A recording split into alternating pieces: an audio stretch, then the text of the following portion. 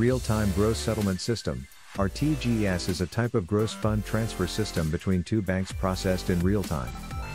The receiving bank settles the transaction without any delay just after the sending bank completes the transfer successfully. Real-time gross settlement system is used when instant clearing is necessary. Generally, RTGS is the instrument for high-valued interbank fund transfers. These types of transfers are organized and supervised by the country's central bank.